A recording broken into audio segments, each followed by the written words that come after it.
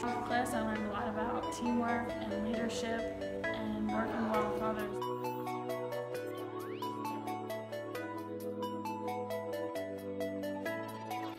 It has challenged me to be more innovative, meticulous, and driven through the projects we have done. To correctly build a robot, you have to be able to work well and understand and communicate with the people in your group, and without communication, it won't work well.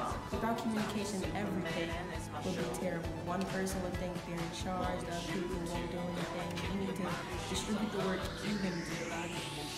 Those hipsters, I'm on dance. I said, don't stop, don't stop, don't stop talking to me.